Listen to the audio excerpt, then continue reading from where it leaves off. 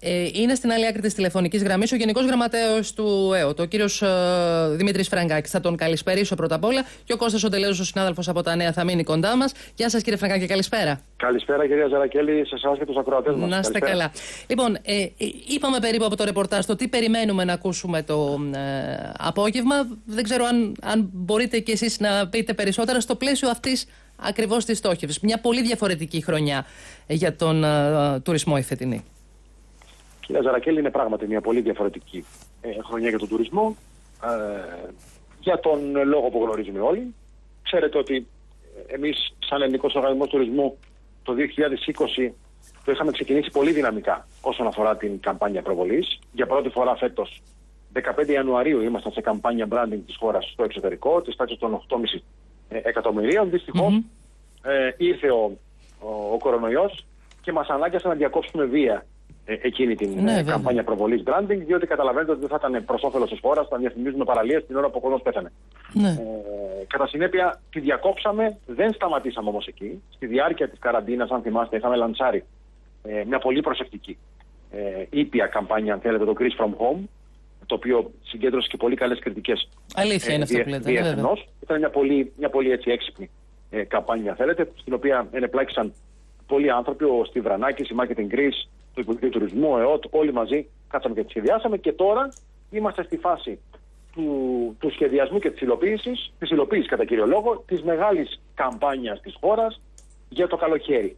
Ε, παρουσιάζεται από τον ίδιο τον Πρωθυπουργό ε, το βασικό μήνυμα και η στρατηγική σήμερα το βράδυ στις 8 η ώρα στην, στην Μέχνη Τζαπίου. Ε, και ε, το επόμενο διάστημα ο ΕΟΤ θα αναλάβει να τρέξει, να προβάλλει αυτή την καμπάνια στα ναι. μέσα ε, του εξωτερικού. Τι, τι διαφορά έχουμε φέτος, δεν, δεν είναι τόσο τεχνικό το ζήτημα αυτό. Νομίζω πολλές, πολλές, κύριε. Ουσιαστικά πολιτικό. Κύριε ο χρόνος είναι λιγότερος καταρχήν, όπως είπατε. Σωστά. Ε, ο χρόνος είναι λιγότερος. Ε, η στόχευσή μας σε χώρες είναι συγκεκριμένη αλλά και συγκεκριμένη ταυτόχρονα. Και, και πάντα με μια υποβόσκουσα ανησυχία για ορισμένε εξ αυτών. Ναι. Ε, θα, πάμε σε, θα πάμε σε αρκετές, σε ένα καλάθι όπως το λέμε εμείς, χωρών και ανάλογα με το πώς πηγαίνει επιδημιολογικά θα πατάμε τα κουμπιά της καμπάνιας, μειώνοντας, αυξομειώνοντα γενικώς την ένταση ε, της καμπάνιας στις χώρες αυτές. Ναι. Ε, συν το γεγονός ότι θα είναι μια καμπάνια σχεδόν καθ' ολοκληρία digital. Μια, μια, μια ψηφιακή καμπάνια. Δεν θα πάμε στα παραδοσιακά μέσα. το καλοκαίρι δεν προλαβαίνουμε κιόλας και δεν έχει και τόσο μεγάλο νόημα. Τέλος, αυτό το οποίο θα, θα επιδιώξουμε με την καμπάνια αυτή είναι οι πωλήσεις θα, θα πουλήσουμε δηλαδή Ελλάδα, θα προβάλλουμε Ελλάδα σε πόρταλς μεγάλα, τα οποία πουλάνε τουριστικά πακέτα και τουρισμό. Ναι. Ε, δεν θέλω να αναφέρω τώρα ονόματα γιατί δεν είναι Όχι, όχι, δεν, δεν, δεν ναι. υπάρχει και λόγος. Φαντάζομαι κύριε Φερκάκη και, και Κώστα Αντελέζο, αμέσως μετά να δώσουμε το λόγο και στον Κώστα για τα δικά του ερωτήματα. Φαντάζομαι κύριε Φερκάκη ε, ότι αυτό που θα πουλήσουμε εισαγωγικά πρώτα απ' όλα αυτό το καλοκαίρι, έτσι όπως είναι τα πράγματα, είναι και το θέμα της ε, ύπαρξης ασφάλειας και του τρόπου με τον οποίο η χώρα μας αντιμετώπισε τον προηγούμενο καιρό το θέμα της πανδημίας και συνεχίζει να αντιμετωπίζει το ενδεχόμενο ε, να υπάρχει κάποιο κρούσμα. Έτσι δεν είναι; Προφανώς. Ε, κοιτάξτε, ε, ε, στο θέμα της ασφάλειας έχουμε δύο άξονες αν θέλετε. Ο πρώτος άξονας είναι η καλή αντιμετώπιση ε, της πανδημίας στη διάρκεια της καραντίνας από την Ελλάδα αυτό είναι το ένα, ο ένας ναι, άξονας. Και ο δεύτερος άξονας, που είναι πάρα πολύ σημαντικός και αυτός, ξέρετε, κυρία Ζαρακέλη, είναι τα μέτρα τα οποία έχουμε λάβει ήδη, τα πρωτόκολλα τα οποία αρχίζουμε και εφαρμόζουμε, ε, τόσο όσον αφορά τη διαχείριση των τουριστικών καταλήμματων και άλλων επιχειρήσεων, τα σχέδια ναι. δράσης δηλαδή, αλλά και τις οδηγίες για διαχείριση ενός ύποπτου κρούσματος, τα οποία όλα αυτά έχουν ήδη θεσμοθετηθεί. Μάλιστα. Εντάξει, δοκιμάζονται στην πράξη, είναι αλήθεια, και αν ναι, κάποια πράγματα δούμε ότι δεν δουλεύουν δεν έχουμε καμία, κανένα πρόβλημα να τα αλλάξουμε, να τα εμπλουτίσουμε, να τα, να τα ενισχύσουμε. Ε, αλλά η, η ασφάλεια έχει αυτούς τους δύο άξονες. Προφανώς θα πατήσουμε στην καμπάνια και πάνω και στην ασφάλεια, ναι, αλλά όχι μόνο σε αυτήν. Ναι. Και σε άλλα συγκεκριτικά πλεονεκτήματα, τα οποία θα τα δείτε σήμερα το βράδυ. Λοιπόν, ε, Κώστα. Ναι, να Έλα, ρωτήσω κάτι το κύριο ναι, ναι. Φραγκάκη ήθελα. Καλησπέρα κύριε το... Καλησπέρα. Ε, το βασικό σλόγκαν ποιο θα είναι, θα είναι το, το Greek Summer feeling happy να βγάλουμε και καμιά είδηση. Σωστά, σωστά, Κώστα. Περιμένετε, περιμένετε από μένα να σας βγάλω την είδηση αυτή. θα το κρατήσουμε έκπληξη μέχρι τις 8 το βράδυ, θα το πει ο Πρωθυπουργός. λοιπόν, τέλος πάντων οι πληροφορίες μου είναι αυτές. Και το δεύτερο που θέλω να ρωτήσω. Κώστα, πες το Greek Summer feeling happy.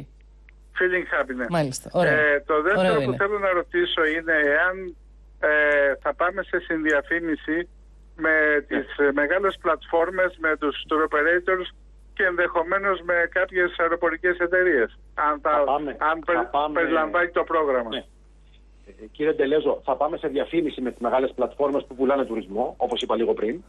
Ε, ναι, ναι. Θα πάμε, ήδη έχουμε ξεκινήσει μέσω των 17 γραφείων του ΕΟΤ στο εξωτερικό συζήτηση με τους ε, μεγάλους και τους μεσαίους του operator της Ευρώπης προκειμένου να διερευνήσουμε τις δυνατότητες για να γίνει συνδιαφήμιση. Ξέρετε, φέτος είναι μια περίεργη σεζόν ε, ναι, είναι... και, οι, και οι tour operators, ξέρετε, έχουν μια συστολή όπως και οι αεροπορικές εταιρείες για το πώς θα τρέξουν τα πράγματα. Εμείς είμαστε θετικοί και ανοιχτοί σε λελογισμένα επίπεδα να κάνουμε συνδιαφήμιση, γιατί η συνδιαφήμιση, ξέρετε, είναι και πολύ στοχευμένη. και...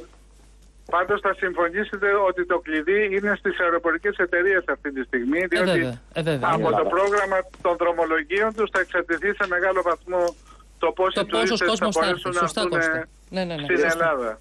Κύριε Τελέζο, κύριε Ζαρακέλη, ε, είναι προφανώς το κλειδί γιατί ο ελληνικός τουρισμός σε ποσοστό 87% περίπου εξαρτάται από το αεροπλάνο. Ε, αυτό είναι δεδομένο. Αλλά πρέπει, πρέπει να σας πω ότι έχουμε μπροστά μας δύο κρίσιμους μήνες. Ο Ιούνιος είναι εξαιρετικά κρίσιμος για να δούμε πώς θα εφαρμόσουμε ε, τα, τα πρωτόκολλα, τα υγειονομικά και όλες τις διαδικασίες που προβλέπονται.